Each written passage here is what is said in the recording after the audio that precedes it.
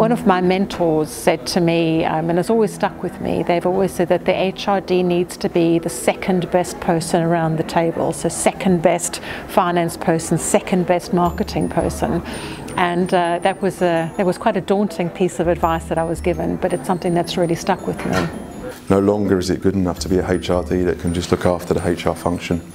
So we need the HR, HRD to to look at the, the, the needs of the business to move forward. So whether that's changing culture, making sure we can re recruit and retain the best people possible, but then also evolve and develop the, the leadership teams across the business uh, to be fit for purpose um, for those investments we're looking to make and to take the business forward.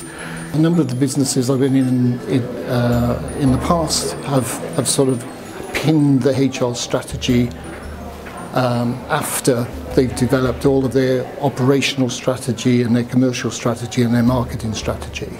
Uh, for me, um, very much the underpin of any strategy is the people strategy in terms of what do you need to deliver from your people in terms of skills, capability, the size of the organisation and the shape of the organisation to be able to deliver what your ultimate vision is. HRD's role in strategy at one level is no different to any other member of the executive team. It's important to contribute to the, the future of the organisation and its growth.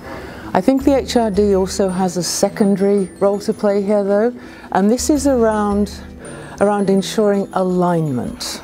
So the strategy needs to line up with the people agenda, it needs to line up with the values and culture of the organisation.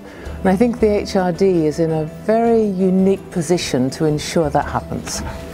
Looking at the HRD um, skill sets, you know, as you know, making sure they can fit um, the culture of the business that we have is important, but also having someone that's strong enough from a character point of view to challenge the, the current culture of the business because what got us here is not going to take us to the future. So having someone that's a real strong character to have that seat at the table and take the business forward.